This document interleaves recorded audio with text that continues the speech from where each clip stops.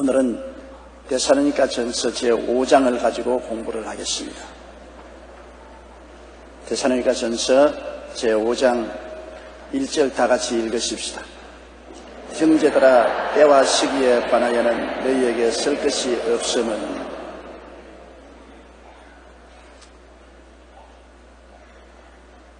우순절날 이후로 지금까지 세계 여러 교회에서 예수님이 재림할 때와 시기에 관한 추정을 많이 했습니다. 언제 예수님이 오신다고 추정을 했다간 또 그 날짜가 틀리면 또 고치고 그렇게 한 일들이 많았어요. 제가 신학 다닐 때도 특정 성도들이 삼각산에 지도자와 함께 주님 오실 날을 추정해놓고 정해놓고 그날을 기다린다고 재산 다 팔고 그러고 난 다음 흰 옷과 흰 두루마기를 전부 준비하고 삼각산에 모여가지고서 매일 예배를 드리고 난 다음에 공중에 날라 올라갈 준비한다고 다 써가지고서 이렇게 준비를 하고 있었습니다. 그런데 그날이 다가왔는데 안 왔어요. 한참 날아갈 준비를 했는데 안 왔습니다. 그러니까 그 교주가 또 다른 날로 날짜를 바꾸었어요. 하나님 생각이 달라졌다고 했죠. 또 바꾼 그날 또 안 왔어요. 그러자 모두 낙심하고 뿔뿔이 흩어지는데 이미 재산 다 팔고 직장도 안 나가고 학교 가는 애들도 다 학교 안 가게 하고 아주 개인과 가정과 생활이 만신창이가 되었습니다. 그때 하늘에 날아가려고 준비하던 사람들이 갈 때 올 때 없어 회개하고 수대문 있을 때 우리 교회로 많이 찾아와서 너무나 신앙의 혼돈이 되어서 고민하는 모습이 분명하게 보입니다. 또 몇 년 전에도 주님 재림하실 날짜를 결정해 놓고 그날에 주님 재림하신다고 전부 준비하고 테레비까지 방송에서 다 비치고 있는데 자정이 되었어도 예수님 재림하지 않았어요. 그것을 굉장히 주장하던 사람 중에 한 사람이 나를 사랑하던 제자 중 한 사람이 있었습니다. 이 사람이 시카고에서 목회를 했는데 목회를 잘했어요. 교회도 훌륭한 교회를 세우고 성도들도 많이 모이고 목회를 잘했는데 어떻게 살짝 돌았는지 그만 그 파에 넘어갔어요. 그래서 주님 오실 날을 정해놓고 난 다음 나보고도 여러 번 그날에 주님이 오신다고 통고를 하기에 내가 여러 번 경고를 했습니다. 예수님께서 말씀하기를 그날과 그 시는 아들도 모르고 천사도 모르고 아버지만 하신다고 했는데 아들도 모르는 것을 너가 어떻게 아느냐? 아, 계시를 여러 가지 면으로 바라. 그래서 하나님의 계시가 아무리 와도 말씀에 부합하지 아니하면 거짓 계시요 마귀의 계시니까 그 믿으면 안 된다. 아, 나만 받은 게 아니라 우리 집사람도 같이 받았다. 집사람이 아니라 하늘에서 온 천사가 와서 말할지라도 성경에 어긋난 말은 하면 안 된다. 성경에는 그 날과 그 시, 1900 몇십 년, 몇월 며칠이라고 하는 그 시를 하나님 정하지 아니하신다고 하시다. 그 날과 그 때는 알지 못한다고 그래요. 하나님이 예수 그리스도를 재림시키는 것은 틀림없는 일이지만은 그 날짜와 시간은 알 수 없다고 성경이 말했으니 제발 그런 짓 하지 말아야 했는데 아 끝까지 주장하라고 그날 온 교인들을 다 모아놓고 밤중에까지 기다리고 있고 미국의 카메라들이 올라가는 것 비치겠다고 와가지고서 전부 비치고 있는데 땡 자정이 왔는데 안 올라갔단 말입니다. 완전히 그 사람 목회 파탄에 이르렀어요. 교인들은 다 흩어지고 그 사람 목회는 파탄에 이르러서 지금 어디 갔는지 흔적도 없습니다. 잘못 신앙을 가지면은 개인도 망하고 가정도 생활도 엉망이 되는 것입니다. 오순절 이후에 수많은 나라에서 수많은 이단과 사설이 일어나서 예수님이 강림하시는 그 날과 그 시를 정했다가 낭패와 실망을 당하였습니다. 실제로 예수님이 재림하시는 그 날과 그 시는 아무도 모릅니다. 예수님이 그렇게 말했습니다. 그날은 아버지도 아버지만 알고 아들도 천사들도 모른다고 그랬었습니다. 모르는 것을 왜 자꾸 알려고 합니까? 주님이 비밀로 작정해 놓은 것을 우리가 왜 알려합니까? 우리는 그 시대와 환경은 짐작할 수가 있는 것입니다. 주님께서 그 시대와 환경에 관해서는 늘 성경에 말씀하셨어요. 전쟁과 전쟁 소문이 나고 처처의 기근과 온역과 지진이 있으리라. 그리고 많은 이단과 사설들이 일어나서 내가 그리스도라, 내가 주라고 하고 교회가 타락할 것이라고 그 정황을 많이 설명을 해 놓았었습니다. 그 우리는 정황을 살펴보고 아 주님 오실 날이 가까워 왔구나 하는 것을 알게 됩니다. 역사적인 정황도 있고 환경적인 정황도 있고 영적인 정황도 있고 그 정황을 따라서 우리는 대개 추측할 수 있는 것입니다. 우리 역사적으로 보면은 성경에 적그리스도가 태어날 때는 옛 로마 제국이 다시 회복되어서 로마 통일이 현실적으로 이루어지고 그곳에서 적그리스도가 나타날 것이라는 다니엘서나 요한 계시록의 말을 우리가 읽을 수가 있습니다. 우리 역사적 정황을 보게 될 때 옛 로마 판도에서 유럽연합이 일어나서 하나가 되고 지금 유럽연합이 정치적인 통합을 하려고 꿈틀거리고 있는 것 알고 있습니다. 경제적 통합도 하고 이제는 정치적 군사적 통합을 하려고 꿈틀거리고 있는 정황을 보게 될 때 역사적으로 아, 옛 로마 판도가 다시 재결합할 때 그때쯤 주님이 오신다고 했으니 역사적인 정황을 봐서 주님 오실 때가 가까워 왔구나 알 수 있고요. 또 자연재해를 볼 때 저체 지진이 일어나고 있지 않습니까? 지금 얼마 전 인도네시아의 자바선에서 지진이 일어나서 약 6천여 명이 죽었습니다. 우리 교회에서도 선한 사람들을 신속히 어제 파견했습니다. 물자와 의약품을 가지고서 구제에 투입시켰습니다. 이와 같이 처체 지진이 오고 지진의 경고가 오고 병도 에이드 같은 무서운 병으로 수천만 명이 죽어갔고 또 조류 독감 같은 상상할 수 없는 병들이 생겨나고 아프리카나 아시아, 북한에 일어난 기근과 그 정황을 우리가 볼 때 세상이 굉장히 불안정한 것을 알 수가 있는 것입니다.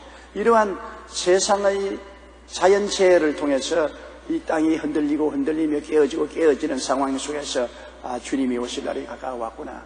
또 인심이 야박해지고 교회의 이단과 사설이 처처에 성인하고 이러한 역사적인 환경적인 교회적인 영적인 정황을 봐서 주님이 가까이 온다는 것을 짐작은 하지만 그날과 그 시를 정하는 것은 결코 있을 수가 없습니다. 어느 누구도 주님이 어느 날 어느 시에 재림한다고 하거든 믿지 마십시오. 그건 거짓말입니다. 그날을 정해놓고 난 다음에 뭐 재산 다 팔고 직장 다 그만두고 학교 공부하는 것 다 그만두고 그날을 기다린다는 것은 위태하기 짝이 없는 일인 것입니다.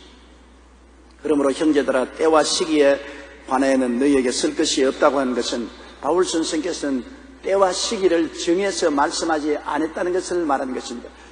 바울 선생은 대사령과 교인들에게 주님이 어느 날 어느 시에 온다고 말은 안 했기 때문에 그 데살로니카의 이단들이 생겨나서 때와 시기를 정해놓고 그날에 예수님이 오신다고 하는 것에 대해서 혼돈하지 않기를 경고하고 있는 것입니다. 2절요. 주의 날이 밤에 도둑같이 이를 줄을 너희 자신이 자세히 알기 때문이다. 주의 날은 밤에 도적같이 온다. 여러분, 밤에 도적이 언제 들어올지 우리 모르잖아요. 해가 지고 난 다음에 어두움이 다가오면 그 이튿날 날이 밝을 때까지 도적이 언제 들어올지 모릅니다. 도적은 언제나 밤에 찾아오잖아요. 밤은 어두우니까 주위 전경을 살펴볼 수 없고 서로 알아볼 수 없고 밤은 또 사람들이 다 세상 일을 잊어버리고 잠잘 때니까 관심을 다 잃어버리고 잠잘 때 도저히 밤에 오지 않아요. 그 예수님이 오실 때는 사람들이 다 이 세상에 잠잘 때 밤입니다.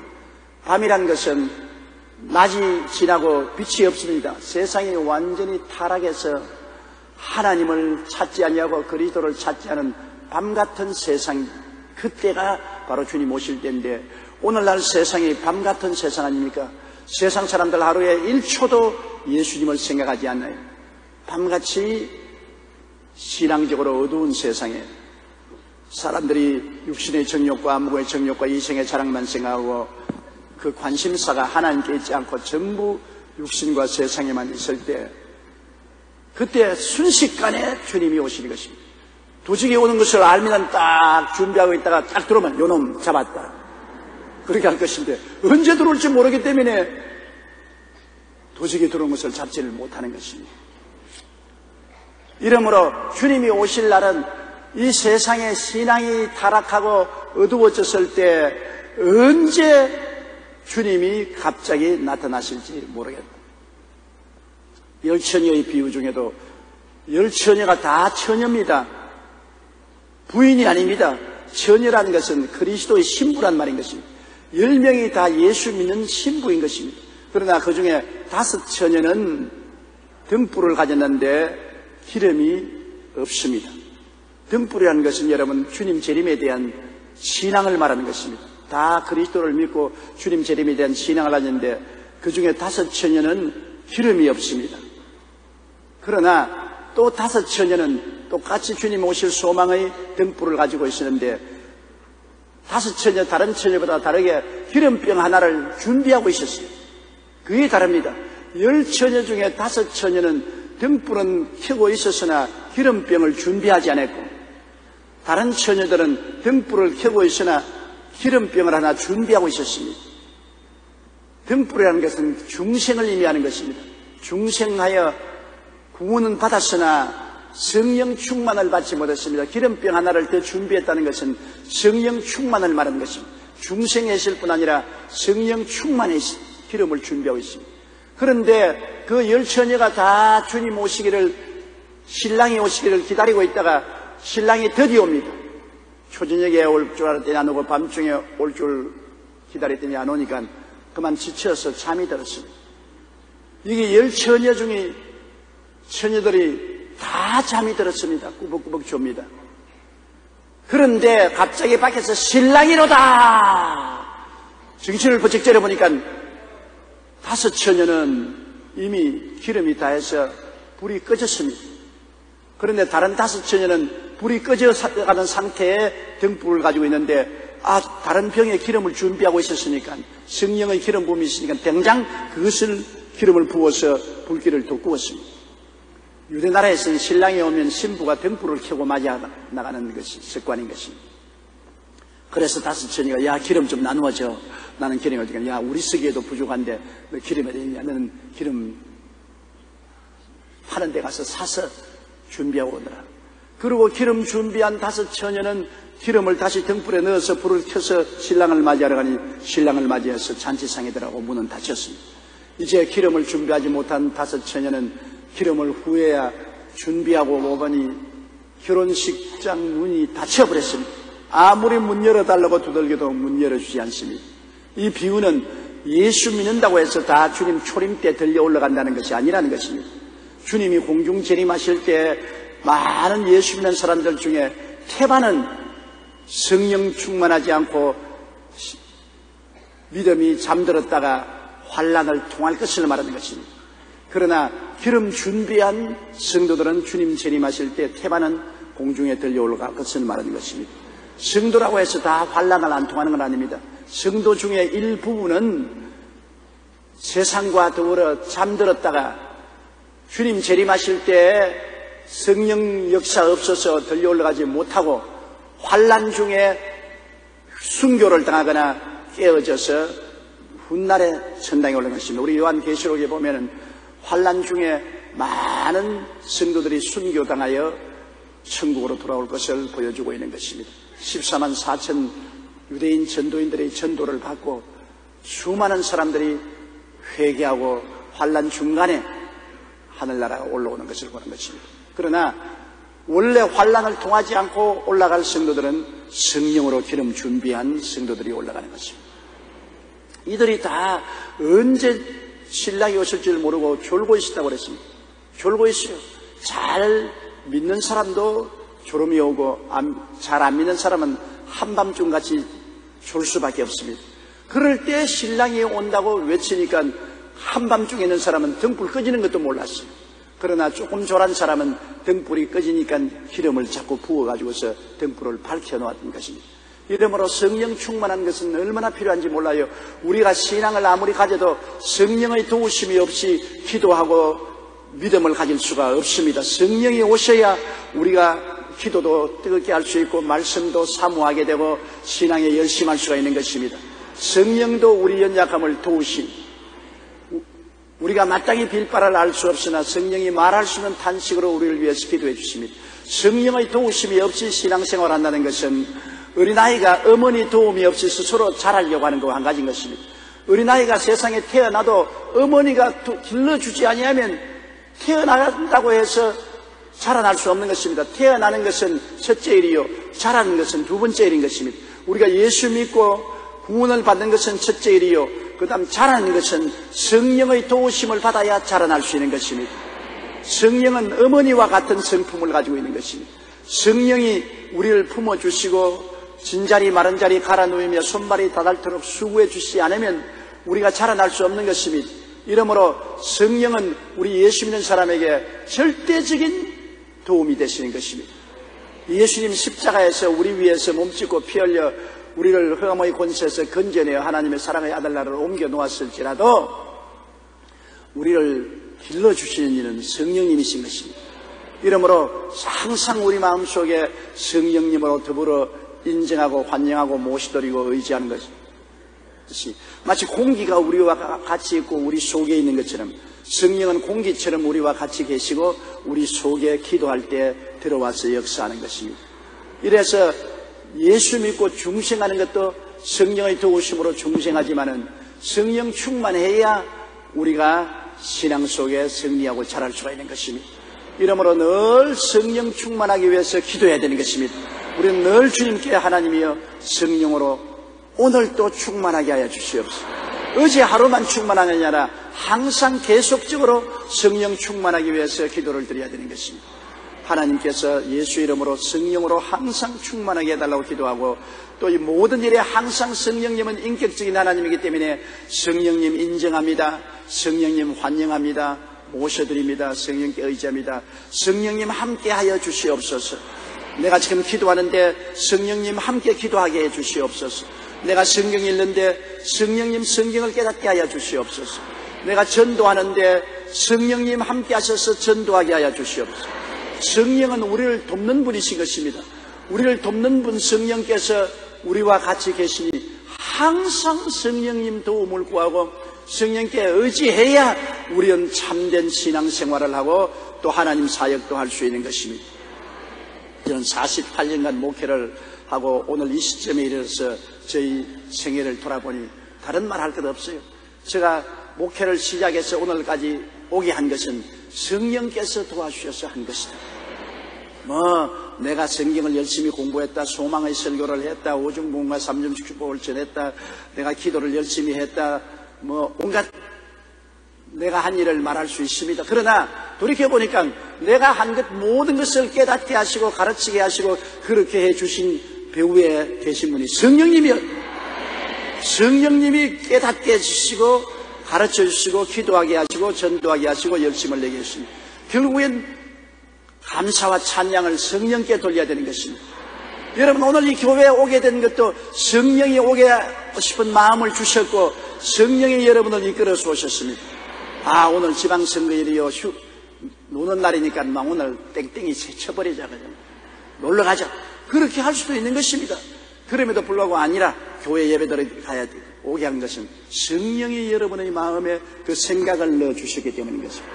성령이 여러분의 마음을 감화 감동시켜 준 것입니다. 이러므로 성령 없이 예수 믿는다는 것은 거짓말입니다. 성령 없이 신앙생활하는 사람은 누구와 같으냐? 물이 없는 운물과 같습니다. 운물의 형태는 있어도 물이 없어요. 그리고 비 없는 구름과 같습니다. 구름이 아무리 떠돌아다녀도 가뭄에 비 한 방울 안 떨어뜨리면 구름이 무슨 소용이 있습니까? 그리고 추운데 화로는 있는데 불이 없습니다. 불 없는 화로와 같습니다. 성령 없는 신자는 불 없는 화로와 같고 물 없는 우물과 같고 비 없는 구름과 같습니다. 형식은 가지고 있는데 내용이 없어요. 내용이 없으니 뭐 형식이 아무리 있은들 무슨 소용이 있습니까? 교회 왔다 갔다 해도 그 속에 내용인 성령이 계셔야 하늘나라가 임하여 있죠. 하늘나라는 성령을 통하여 임하여 계신 것입니다. 예수님이 십자가에서 하늘나라를 임하게 하셨습니다. 이 세상에서 예수님은 십자가를 통하여 용서와 의와 영광의 하늘나라가 임하게 해주셨고 거룩함과 성령 충만의 하늘나라가 임하게 해주셨고 치료와 건강의 하늘나라가 임하게 해주셨고 아브라함의 축복과 형통의 하늘나라가 임하게 해주셨고 부활 영생 천국 영광의 나라를 임하게 해주신 것입니다. 바로 그 나라에서 영혼이 잘되고 범사에 잘되며 강건한 역사가 일어나게 하시고 그 나라에서 우리가 태감을 받은 성도요 왕 같은 재상이요 거룩한 나라여 그 소유된 백성이 되게 만들어 주셨는데 이런 역사가 십자가를 통하여 임하여 있지만은 이것이 우리 속에 나타나는 것은 성령을 통해야만 나타나는 것입니다. 성령을 통하지 않고는 안 돼요. 아무리 아름다운 선물을 잔뜩 가지고 있어도 그것을 싣고 올 기차나 비행기나 배가 있어야 싣고 오지 않습니까? 성령이 교통을 통해서 우리에게 싣고 오는 것입니다.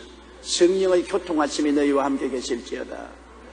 예수 그리스도의 은혜와 하나님의 사랑과 성령의 교통하심이 너에게 임할지어다고 바울이 말했는데 하나님의 사랑이 넘쳐나도 예수 그리스도의 은혜가 충만해도 하나님의 사랑과 예수님의 은혜를 싣고 오늘 교통수단은 성령이신 것입니다. 여러분 오늘 아무리 교회에 오고 싶어도 차가 없으면 못 오지 않아요. 여러분이 지하철을 타시고 버스를 타시고 혹은 자가용을 타시고 뭘 타고 왔지 그냥은 안 왔잖아요. 그냥 온 사람 한번 손들어 봐주세요. 그냥 온 사람도 두 다리 타고 왔어요. 다 타고 왔죠. 하나님의 은혜는 성령 타고 오시는 것입니다.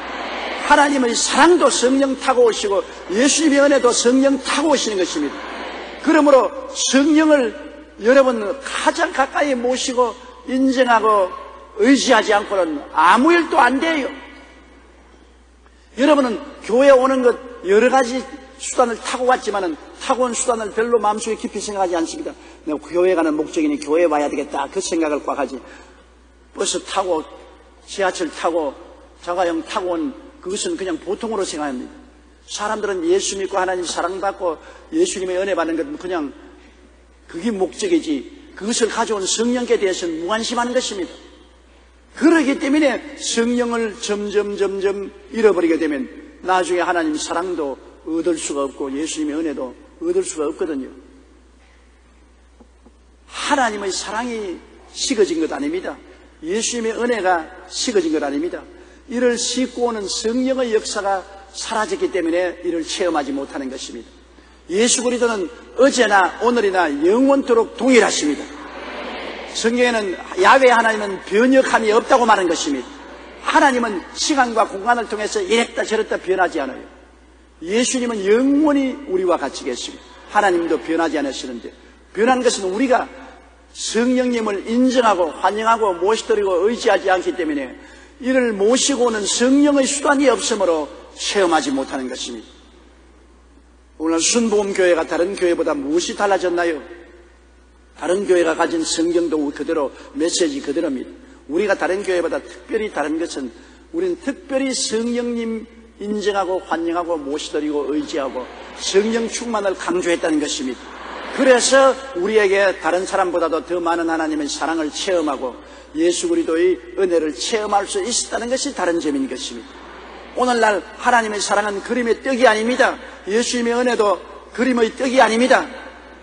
이것이 그저 성경에 있는 그림의 떡으로만 있으면 큰일 납니다.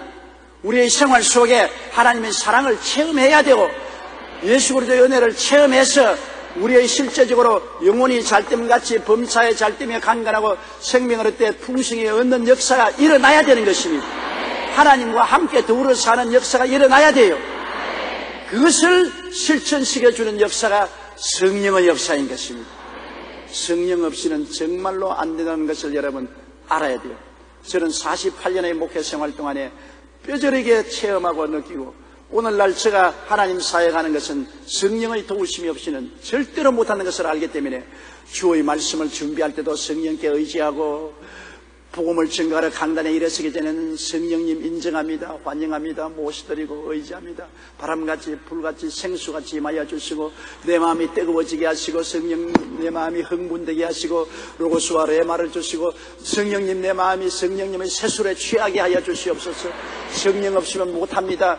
성령께 강구하고 성령님과 같이 와서 지금도 성령님과 함께 있어요. 성령님이 저를 옷 입고 성령님이 저를 통해서 로고스와 레마를 주시면서 말씀을 하게 하시는 것입니다. 저는 언제나 외국에 갈 때는 성령님 let's go 성령님 함께 갑시다 let's go 성령님을 의지하고 강단했습니다. 그러면 성령님이 저를 사용해 주시는 것입니다. 내가 잘나서 무엇을 할 수 있는 것은 결코 아닙니다. 성령님이 지혜와 총명을 주시고 모략과 재능을 주시고 지식을 주시고 능력을 주시고 역사를 해 주시는 것입니다. 그러므로 주의 날이 밤에 도둑같이 이럴 때 우리가 깨어있기 위해서는 성령의 기름 부으심을 모시고 있어야 되는 것입니다. 성령의 기름병을 차고 있어야 돼요. 재림의 희망만 가지고 꾸벅꾸벅 졸지 말고 재림의 희망의 등불을 가지고 있으면서 성령의 기름을 딱 준비하고 있어야 돼요. 그러면 언제나 주님이 신랑이라도 오시면 성령님이 가자! let's go! 주님을 맞아 나갈 수가 있는 것입니다. 3절요. 그들이 평안하다, 안전하다 할 그때 임신한 여자에게 해산의 고통이 이름과 같이 멸망이 갑자기 그들에게 이르리니 결코 피하지 못하리라. 인본주의자들은 세상이 점점 평안하다, 그리고 안전하다고 말합니다. 하나님 없이 인간 중심으로 사는 사람들은 인간적인 꿈을 가지고 자기들이 인간의 능력으로 수단과 방법으로 세상을 더 안전하고 평안하게 만들 수 있다고 생각하는 것입니다. 오늘날 세상이 우리가 아는 역사를 통해서 볼지라도 제1차 세계대전으로 초토화되고 그 다음 또 제2차 세계대전으로 온 세상에 수천만 명이 죽는 초토화되고 2차 대전 이후에 공산주의와 민주주의의 투쟁으로 말미암아 어느 나라치고 소란스럽지 않은 나라가 없고 지금도 우리나라에는 공산주의와 자유민주주의가 갈라져서 북한 정권과 대한민국의 갈라져 있는 것입니다. 이 세상에 사람이 만든 나라들 중에 평안하고 안전한 곳이 없는데도 불구하고 사람들은 평안하다, 안정하다, 자꾸 그렇게 말합니다. 뭐 하나님 믿을 필요가 없다.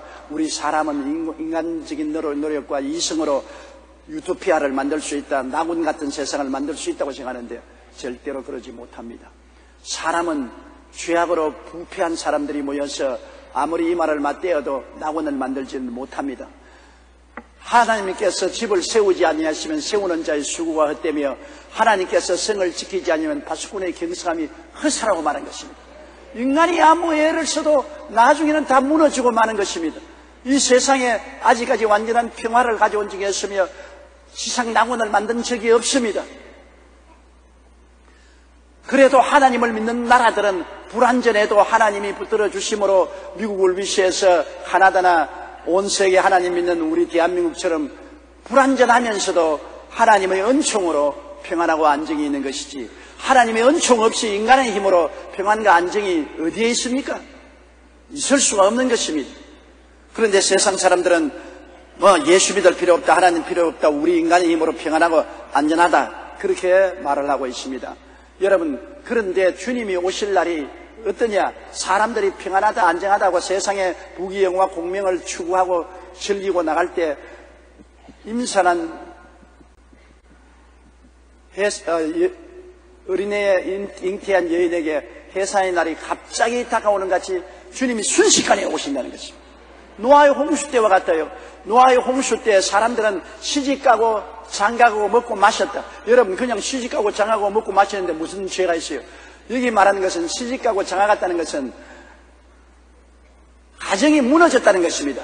그저 만났다가는 헤어지고 만났다가는 헤어지고 그냥 시집 갔다가는 두고 장가 갔다가는 그만두고 또 시집 가고 또 장가 가고 또 시집 가고 또 장가 가고 또 시집 가고 또 장가 가고 또 시집 가고 장가 가고 완전히 노아 시대의 세상은 음란하고 방탕한 세상이 된 것입니다.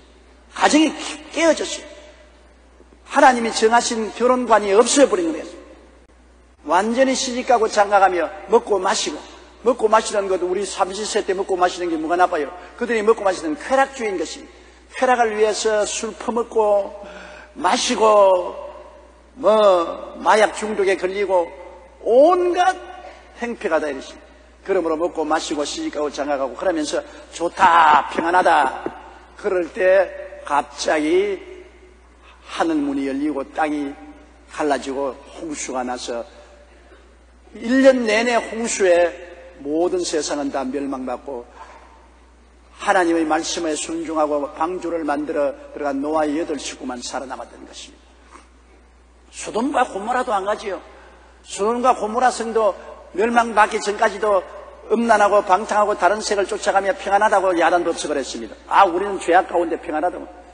그럴 때 순식간에 하나님께서 유황불을 쏟아 부어서 소돔과 고모라 성의 명을 방했습니다. 이 세상도 가집니다.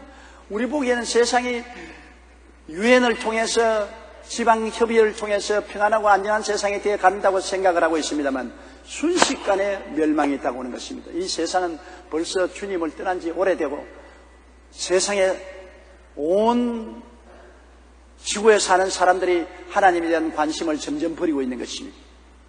그러니까 예수 믿는 사람들도 지금 잠들어 있는 상태에 있지 않습니까? 유럽은 예수 믿는다 하면서 교회당만 있지 사람이 없습니다. 텅텅 교회당이 비었습니다. 예수 믿었던 습관만 남아있고 실제적인 신앙은 사라져가고 있는 것입니다. 이러한 상황 속에서 순식간에 주님께서 오신다는 것입니다. 여러분 오늘 우리 여자 성도들은 다 알잖아요. 어린애기를 가졌다가 언제 갑자기 진통이 올지 모르잖아요. 순식간에 진통이 오면 어린애기가 나오는 것입니다. 뭐 어린애기 나올 때 일주일 전에 엄마네 나올 테니까 준비해 어린아이가 그렇게 순전 포고하고 나오지 않아요. 갑자기 진통이 다가오지.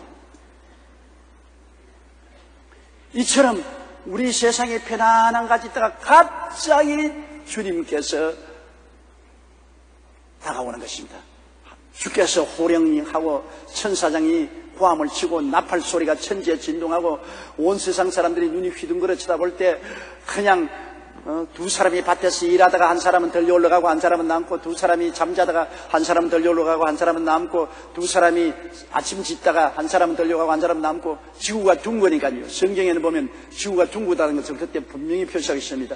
밭에 일하다가 두 사람 중에 한 사람 덜려 올라가고 아침에 맷돌 가다가 안집 식사 식사 준비하여 맷돌 가다가 한 사람 덜려 올라가고 한 사람 남고 두 사람이 자다가 한 사람 덜려고 하나 남고 왜냐하면 미국이 낮이면 우리는 밤이고 영국은 아침이니까. 굉장할 것입니다. 아, 갑자기 자고 나니까 남편이 없어졌다, 아내가 없어졌다, 경찰 신고가 들어오고, 자동차를 타고 가다가 버스 운전수가 사라져버려가지고서 버스가 대형사고가 나고, 공중에 비행기가 날아가다가 조종차가 사라져버려가지고서 비행기가 온데간데 없이 그 곤두방태를 치고, 배가 바다에 침몰하고, 뭐, 양사방 온 세상에서 신고, 사람 잃어버린 신고가 들어오고, 우주인이 와서 온 세계를 뒤흔들어 놓고 수많은 사람을 납치해서 우주로 데려갔다고 야단 dob석을 합니다. 세상에 한 크게 소용돌이가 일어날 것입니다. 그때 교회도 오면은 교회에 어떤 교회는 과반수가 들려 올라가고 과반수는 남고 어떤 교회는 홀랑 다 올라가 버리고 그런데 여러분 그때 세상에 요동설 때 아유 예배나 드려야지 교회에 설렁설렁 교회 목사도 없고 장로도 없고 집사도 없고 돌았나? 오늘 예배를 보러 왔는데 왜 목사도 장로도 집사도 없나? 그렇게 말할지 모르겠습니다만 이미 다 올라가 버리고 늦었어요. 여러분, 어느 날 여러분 교회에 왔는데 보니 교회 교인들이 태반이 없어졌거들랑 여러분 뒤에 쳐진 줄 아십시오. 그러니까 깨어 있어야 돼요. 주님이 나팔 부실 때 우리가 올라가야 돼요. 성령의 기름을 준비한 사람은 올라가요. 영적인 주께서 호령도 영의, 영적인 호령이요. 천사자의 고함도 영적 고함이요. 하나님의 나팔도 영적인 나팔이기 때문에 영이 깨어있는 사람은 들리지 영이 안 깨어있는 사람은 안 들리지 않아요. 영이 안 깨어있는 사람은 안 들려요. 영적으로 성령의 기름 준비한 사람은 그 소리가 아주 똑똑히 들려서 정신 차리고 다 변화돼 올라가지만 영적으로 잠든 사람도 안 들리고 영적으로 죽은 사람도 안 들려요. 영적으로 죽은 사람은 영 안 들리고 영적으로 잠잔 사람은 깨어나 보니 늦었더라. 그래서 늦게야 수순을 떨다가 실린 환란 반쯤 통하게 되는 그런 위기를 겪게 되는 것입니다. 영적으로 깨어 있다는 것은 굉장히 중요한 일입니다. 사람들 다 잠자는 모습을 보면 어떤 사람은 잭소리만 해도 화닥닥 일어나는 사람이고 어떠한 사람은 상당히 요란스러워도 안 일어나다 일어나는 사람이고 어떤 사람은 엎고 가도 모르는 사람이 있어요. 잠도 서푸른 잠이 들면 좋은데 깊이 잠든 사람은 이건 참 큰일입니다. 예수를 믿다가 신앙에 잠이 들어서 조금 잠든 사람은 조금만 흔들어도 깨어나지만은 영 깊이 잠든 사람은 엎고 가도 모르는 사람은 이건 정말로 낭패에 처한 것입니다. 오늘 수요일 날 예배에 들어온 사람은 안 자는 사람이 왔어요. 여러분은 걱정할 필요가 없어요. 잠든 사람은 여기 안 와요. 여러분은 다 잠에서 깨어 있는 것을 하나님께 감사하십시오. 사절요. 형제들아 너희는 어두움에 있지 아니하며 그날이 도둑같이 너희에게 임하지 못하리니 어두움에 있으면 캄캄하여 천지를 모르잖아요. 그러나 우리는 빛 가운데 있습니다. 빛 가운데 있다는 것은 뭐냐? 말씀을 알고 있다는 것입니다. 말씀을 읽고 말씀을 깨닫고 있는 사람은 빛 가운데 있어요. 말씀을 모르고 깨닫지 못하는 사람은 어두운 가운데 있어요. 우리는 말씀을 통해서 알고 있기 때문에 아 시대를 봐서 환경을 봐서 영적 상태를 봐서 주님 오실 날이 가까워왔구나 말씀대로 말씀을 깨닫고 알고 나를 준비하지요. 빛 가운데 있는 사람은 깨닫고 준비를 하죠. 그러나 어두운 데 있는 사람은 캄캄하니까 아무것도 모르니까 그냥 준비를 안 하고 늘어지게 잠을 자는 것입니다. 어두운 데 있다는 것이 큰 문제인 것입니다. 모르니까 준비를 하지 않죠. 빛 가운데 있는 사람은 아니까 준비하지요. 빛이 바로 우리가 가지고 있는 성경 말씀이 빛인 것입니다. 우리 예수님이 빛이요. 바로 말씀이, 예수님이 말씀인 빛인 것이므로 말씀을 읽고 깨닫기 때문에 우리는 빛 가운데 있지요. 지금도 우리 빛이 서신 말씀을 우리가 읽고 듣고 있잖아요. 그 말씀이 우리 마음을 비추고 있잖아요. 아, 주님 오실 날이 가까워 왔다. 우리 예수 믿고 준비해야 되겠다. 준비하잖아요. 요번에 자바섬에서 일어난 진도 6이 넘는 지진으로 말미암아 6천여 명이 죽었는데 그것도 왜 그러냐? 어두운 가운데 있다 있기 때문에 지진이 일어날 것을 미리 알았으면 준비를 했으면 그 지진을 많이 피할 수 있었습니다. 그러나 지진이 있는 것을 모르고 준비 안 했기 때문에 모든 건물들도 내진 설계가 없으므로 그대로 무너졌죠. 요사이 건물들은 다 내진 설계를 합니다. 더구나 일본 같이 지진이 많은 나라는 일본 동경 같은 곳은 어마어마하게 내진 설계를 합니다. 한 진도 5, 6이 흔들려도 안 무너질 정도로 건물을 설계를 해요. 그거는 빛 가운데 있다는 것입니다. 지진이 무서운 것을 알고 있기 때문에 지진에 대비해서 설계를 했으므로 한 5, 6도 흔들려도 동경은 무너지지 않아요. 우리나라에도 지금은 건물을 지을 때 지진 내진 설계를 꼭 해야 되는 것입니다. 그래야 지진이 나서 흔들려도 안 무너져요. 모르는 사람이 무너지지 알고 있으면 무너지지 않아요. 제가 미국 샌프란시스코에서 진도 6 이상의 지진이 일어났을 때 산호제 그 한가운데 있었어요. 지진의 진동에 저 멀리 떨어져 있으면 좀 괜찮은데 한가운데 있었어요. 그런데 하나님이 정말 보호를 해주셨습니다. 제가 그 샌프란시스코 산호세 갈때 호텔 예약을 김 변호사에게 연락을 해서 했어요. 아주 고층 빌딩 호텔에 높은 층 견망이 좋은데 호텔 방을 예약해 달라고 부탁을 했습니다. 그걸 한 다음에 샌프란시스코에 가니 아 공항에 나왔는데 김 변호사 얼굴이 하얘요. 왜 얼굴이 하얗냐 니까 아이고 목사님 목사님이 호텔 준비를 하라 그랬는데 내가 잊어버리고 호텔 준비를 못했으면 어찌 화가 난지 야 이 병신아. 아니 네가 변호사야. 변호사쯤 된 사람 보고 내가 집회 오는데 호텔 준비를 했는데 호텔 준비를 잊어버렸더니 아니 내가 잊어버리고 비서에게 말한다는 것을 그만 깜빡 잊어버린 내가 얼마나 화가 나는지 쥐어받고 내가 욕을 하고 구박을 하고 그때서야 호텔을 준비하니까 큰 호텔마다 다 방이 없어요. 목조 건물 4층 호텔 제1류 호텔이 하나 있어서 산호세 목조 호텔로 들어갔습니다. 그러니까 나무로 지은 호텔이고 그 호텔에 들어가서 보니까 별로 시설이 좋지만 내가 들어가 앉아가지고서 나쁜 놈. 아니 어른을 갖다가 이렇게 대접할 수가 있느냐? 나쁜 놈 봐라 이놈. 내가 두고 보자. 내가, 내가 너에게 한 번 보복을 하겠다 그러고 내가 뭐라고 기도했냐면 하나님 내내 기도하고 김 변호사가 호텔을 준비하도록 부탁을 했는데 하나님 왜 김 변호사님에게 그것을 기억나게 해서 좋은 호텔 예비 안 해주시고 이런 이류 호텔로 들어오게 하십니까? 하나님 내 기도를 안 들어주십니까? 그래서 그날 밤을 잤어요. 그 이튿날 지금부터 집회인데 낮에 내내 불평 말하고 그러고 난 다음 이제 저녁 7시 집회니까 6시쯤 제가 옷을 입고 기도를 하고 성경책을 들고 호텔 창문 앞에 이렇게 글상에 기대해 있으면서 창문을 이렇게 내다보니까 바로 창문 밑에 수영장이 있어요. 수영장에 사람들이 수영을 하고 있어요. 그냥 바라보고 있었어요. 저희가 4층인데.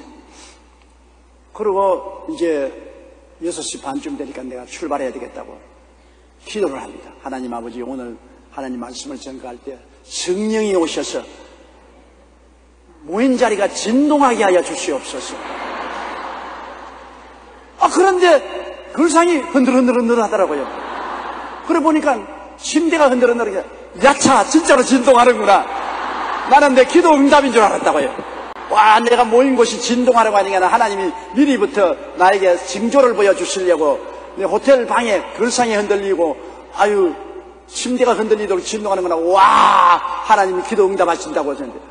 아이고, 이게 보통 진동이 아니에요. 나중에는 막 흔들리는데 막.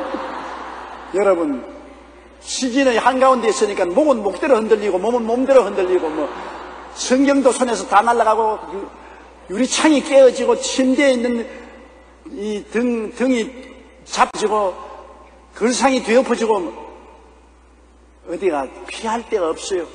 내가 창문으로 뛰어내리려고 길, 뭐 창문을 잡고 있으니까 막 흔들리는데 한 20초 흔들렸는데도 불구하고 20년 같아요. 몸이 막 흔들려서 창문으로 뛰어내리려고 하는데 보니까 밑에 보니까 수영장에 물이 한 방울도 없어요. 흔들려서 다 넘쳐나와 버리고. 확 보니까 저쪽에 있는 꿀뚝이 큰 꿀뚝이 넘어지고 샌프란시스코 다리가 내리 주저앉고 자동차가 막 길 고속도로에서 직작으로 서로 부딪히고 아주 세상이 종말이 온 줄 알았습니다. 나는 꼭 죽었다고 생각했는데 한 20초 후에 지진이 끝났어요.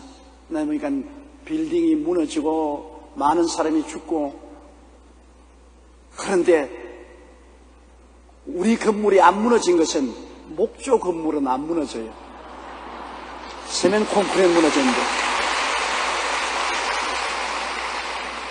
그 다음에 내가 알아보니까 내가 들어갔던 그 호텔에 식당에서 밥 먹다가 많은 사람이 천정이 무너져서 죽었어요. 아, 그때야 좀 있으니까 김 변호사가 일하고 왔잖아요.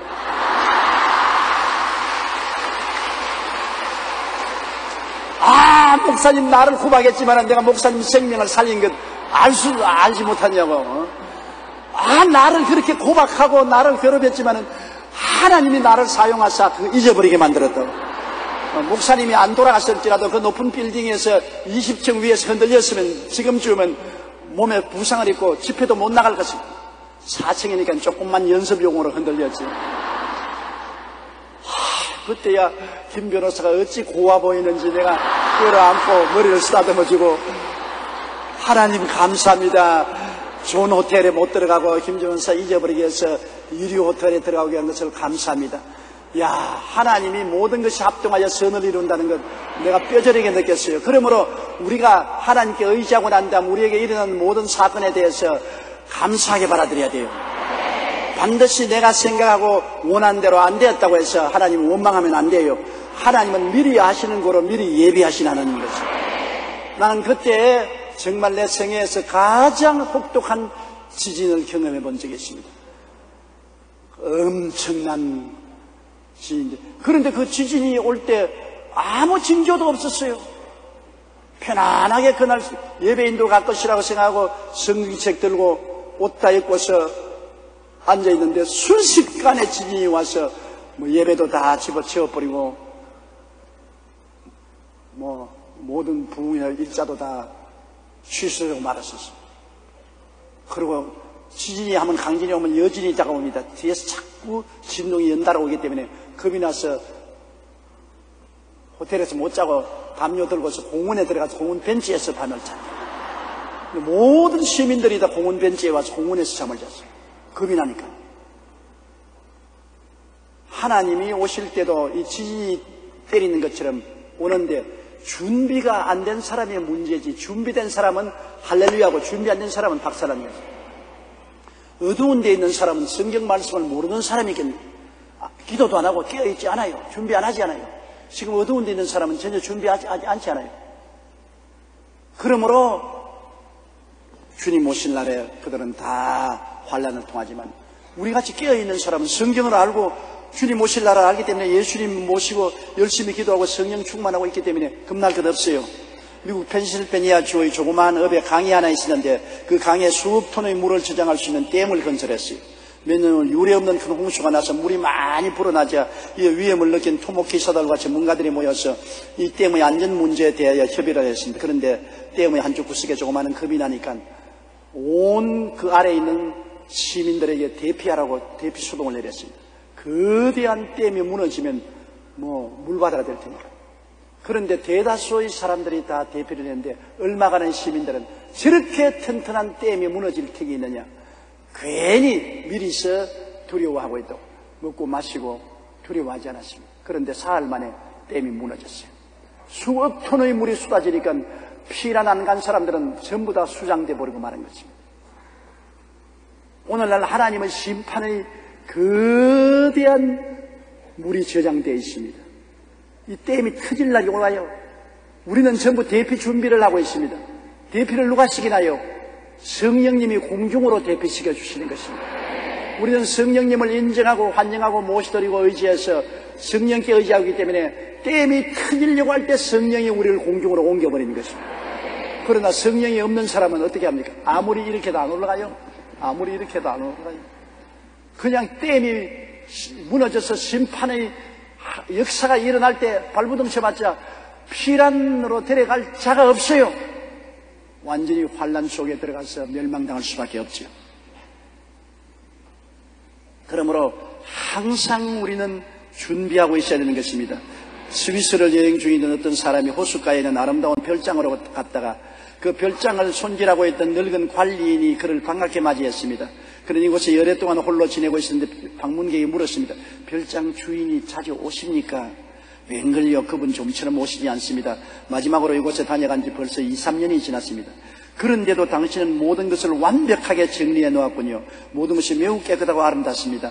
마치 내일 주인이 올 것 같이 별장을 준비해 놓기 전에 그 사람 속고기를 흘렸을 잘못 알았습니다. 나는 오늘 주인이 오실 줄 알고 준비하고 있습니다. 내일이 아닙니다. 그 말에 그것을 관광한 관광객이 감탄을 했다는 것입니다. 여러분, 주님이 내일 오실 것으로 알고서 준비하면 안 됩니다. 오늘 올 것으로 준비하고 예비해야 되는 것입니다. 주님이 반드시 공중재림안 해도 우리 개인적으로 오늘 죽을지 내일 죽을지 모르지 않아요. 내일 일을 자랑치 말라 오늘 내게 어떠한 일이 일어날지 알지 못하느니라. 항상 우리는 오늘 준비해야 되는 것입니다. 오늘이란 이 시간에 예수님을 언제나 중심으로 모시고 언제나 성령님 충만하고 주님 섬기는 삶을 살아야지. 아, 내일 잘 믿겠지. 나 이제 일주일 후면 잘 믿겠다. 한 달 후면 잘 믿겠다. 이러한 어리석은 소리 하면 안 되는 것입니다. 오늘 이 시간에 항상 주님을 모시고 성령 충만한 삶을 살게 되시기를 주님 이름으로 축원합니다. 그러므로 형제들아 너희는 어둠에 있지 아니하며 그날이 도둑같이 너희에게 임하지 못하리니 오절요 너희는 다 빛의 아들이요 낮의 아들이라 우리가 밤이나 어두움에 속하지 아니하네. 우리는 빛의 아들입니다. 누가 빛입니까? 예수님이 빛이지요. 예수님이 우리 태양입니다. 우리 오늘 이 시간에 낡지 않아요. 대낮이 아니요. 태양이 떠 있기 때문에 온 세상이 환하지 않아요. 밤이 오면은 태양이 지고 나면은 온 세상이 캄캄하지 않아요. 예수님이 우리 태양이니까 예수님이 우리 마음속에 모셨으니까 영적으로 환하지 않아요. 예수님 태양이 떠올라 있기 때문에 어둡지가 않아요. 어디서 와서 왜 삶이 어디로 가는지 알아요. 또 장차 주님이 우리에게 오실 것을 알고 있어요. 또 지금 내가 이 육신의 장막집 무너지면 손으로 짓지 않은 영원한 집으로 가는 줄 알아요. 태양이 떠오르고 있으니까 성경이 알려지는 것입니다. 창세기부터 계시까지 말씀을 읽고 감동받고 변화받아요. 그러나 태양이 지버린 사람들, 예수님이 없는 사람들은 깜깜하고 어두워요. 영적으로 어디서 와서 왜 삶이 어디로 가는지 모르고 장차 어떻게 될지도 모릅니다. 어두움에 사는 사람들은 이 세상에 사는 것이 전부인 줄 알고 육신의 정욕, 안목의 정욕, 이 세상을 따라, 자랑을 따라 욕심만 부리고 살고 세상 쾌락만 따라 살지. 캄캄하고 어두우니까 과거도 모르고 미래도 모르고 어떻게 될지 몰라요. 우리는 빛의 자녀들인 것입니다. 예수님이 빛이심으로 비단에 살고 있으니까 빛의 자녀들입니다. 그러나 예수님이 안 계신 사람은 어두움의 자녀들이에요. 빛의 자녀들에게는 주님이 도적같이 올 수가 없어요. 왜냐하면 항상 오실 것을 기다리고 있는데 뭐 우리가 뭐 주님이 도적같이 올 수가 있어요. 우리 늘 기다리고 있다가 주님 오시면 아 반갑게 맞이하지. 그러나 어두움에 있는 사람들이 주님이 오시면 갑자기 놀래서 아이고 주님이 도대체 어떻게 이 시간에 오실 줄 우리는 몰랐다고 그렇게 말하게 되죠. 그러므로 시간이 바쁘다고 해서 빛을 등지고 어두움에 살아서는 안 되는 것입니다. 어느 집사님이 교회 집사님까지 되었음에도 불구하고 아, 사업이 바빠지니까 아이고 손님 만나니까 오늘 주일날 예배 못 나가겠다. 아, 오늘 사업 계획이 바쁘니까 오늘 교회 못 나가겠다. 오늘 접대 골프를 쳐야 되니까 오늘 못 나가겠다. 부인이 안타깝게 여보 만사를 제껴놓고라도 주님 먼저 섬겨야 됩니다. 세상 일은 하고 하고 해도 끝이 없으니까 주님 먼저 섬기십시오. 묘지에 가보십시오. 그 많은 사람이 묘지에 누워있어 한 가지만 그 사람들이 세상에 살다 해도 얼 시간 없어 바쁘다고 교회 안 나왔던 사람들이 오늘날은 묘지에 묻어 있지 않습니까? 시간은 언제든지 있어요. 그러니까 하나님 모시는 시간을 등하에 느끼지 마시고 아, 내가 장차 잘 믿겠다. 좀 벌어놓고 좀 한가하고 은퇴하거들랑 그때 열심히 나가게. 그러다가 그만 이 양반이 죽었어요. 죽어가지고서 천사 앞에 섰는데 천사가 생명책을 쫙 펼쳐버립니다. 당신 이름이 없는데 내 이름이 없다니요. 내가 한국에 있는 아무개 교회 집사인데요. 내 이름이 없을 턱이 없는데 다시 한번 살펴보세요. 쭉 보니 아, 당신이 교회에 난 집사지요. 나 바빠가지고만 잊어버렸습니다. 당신 이름 들어가는 거. 아, 그러면 나 천당에 넣어주죠. 아, 어떻게 되었든 생명책에 이름이 없는 사람은 못 들어가요. 내가 바빠서 잊어버렸어요. 그러므로 당신 이름이 없으니까 당신 지옥 갈 수밖에 없어요. 그래서 천사를 잡고서 엉엉 울면서 왜 내, 아무리 바빠도 내 이름은 잊어버리지 말아야지요. 바쁘다고 내 이름 잊어버리면 어떡합니까? 그러다가 자기 울음소리에 깨보니까 꿈이야.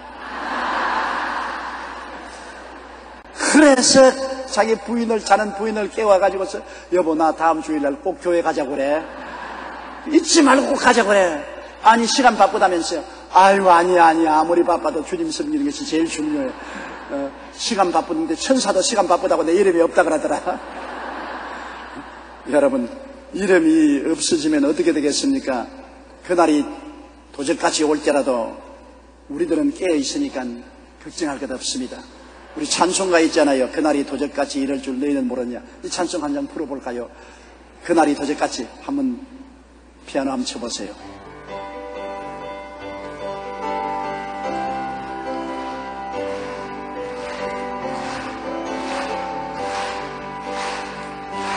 그날이 도적같이 이럴 줄을 모르느냐? 늘 깨어 있어라. 잠들지 말아라. 주님과 동행하라. 항상 기뻐하라. 쉬지 말고 기도하라 범사에 감사하라 이는 예수 안에서 너희에게 향하신 하나님 뜻이니라 예수를 잘 믿고 빛 가운데 있는 사람은 언제 와도 걱정할 것 없어요. 그러니 도적같이 올 수가 없지요. 새벽에 와서도 좋고, 밤중에 와서도 좋고, 초저녁에 와서도 좋고, 깨어있으니까, 영적으로 깨어있으니까 언제 와도 신랑을 맞으러 나갈 수 있는 것입니다. 잠드는 사람이 문제지요. 잠들었으니까 새벽에 도적이 들어올 수도 있고, 밤중에 들어올 수도 있고, 초저녁에 도적이 들어올 수도 있죠. 우리는 깨어있고 빛 가운데 있으므로 언제 와도 오케이, 좋습니다. 깨어있는 것이 가장 중요한 것입니다. 6절요. 그러므로 우리는 다른 이들과 같이 자지 말고 오직 깨어 정신을 차릴지라. 깬다는 것은 예수 그리스도를 늘 중심에 모시고 있는 것이 깨어 있는 것입니다. 예수님이 태양이니까 낮에 자는 사람은 없지 않아요. 예수님이 태양으로 우리 마음속에 계십니다. 예수 그리스도가 너희 안에 계신지 확인해 보라. 그리스도가 너희 속에 계신 것을 모르면 버린 자라고 말했습니다. 예수 그리스도가 우리 속에 계신 걸 알지요? 예수님을 구주로 모셨지요? 지금 이 자리에 계신 거 알지요? 여러분은 깨어있는 사람들인 것입니다. 걱정할 것 없어요. 여러분은 빛 가운데 계셔요. 그리스도가 빛으로 비추시는데 어떻게 우리가 어두움 가운데 계십니까? 예수님이 중심에 안 계시니 문제지요. 예수님이 항상 중심의 빛 가운데 찬란한 광채를 발하게 만들어 주시니까 성령이 것입니다. 성령이 언제나 우리를 예수 중심으로 꽉 쓰게 만듭니다. 더 기도해라. 더 묵상해라. 더 말씀을 읽어라. 더 전도해라. 예수님을 중심으로 확실히 모시라고 성령은 어머니가 자녀들에게 권면하시 끊임없이 우리에게 권면하고 있는 것입니다. 성령님의 권면을 듣고 예수님이 여러분의 중심에 늘 계시기를 간절히 축원해 마지 않습니다. 7절 하나만 더 합시다. 자는 자들은 밤에 자고 취하는 자들은 밤에 취하되 자는 자들은 밤에 자죠. 취하는 자들도 밤에 낮술 먹는 사람 그 미친놈이고 술은 다 밤에 먹지 않습니까? 그런데 밤에라도 너무 과음하면 신세 망치는데요. 자는 자들은 밤에 자고 취하는 자들은 밤에 취한다는 것은 뭐냐면 마음에 태양이 없으면은 영적으로 잠을 자게 하고 영적으로 죽게 된 것입니다. 그러니까 예수 없는 사람은 온 세상이 밤이라 인생 전체가 밤이라 일평생이 다 밤이라 그저 밤에 그저 잠만 자요. 세상 잠을 자요. 하늘나라는 안 깨어있고 세상 잠만 자요. 헛된 꿈만 꾸어요. 그리고 세상에 취해서 살아요. 탐욕에 취해서 돈, 돈, 돈, 지위, 지위, 지위, 명예, 명예, 명예 이것만 취하지 예수 그리스도와 하나님에 대해서는 조금도 몰라요. 선거를 끝마친 사람들 선거 전에 돌아설 때 예수님과 하나님에 대한 생각은 다 모르고 그저 표만 달라고 표, 표, 표, 표, 표, 표, 표, 표만 따라다닌 것처럼 여러분 밤에 있는 사람은 완전히 세상 잠에 쿨쿨 자고 세상에 취해서 자지만은 예수님이 있는 사람은 이 세상에 살아도 깨어 있으니까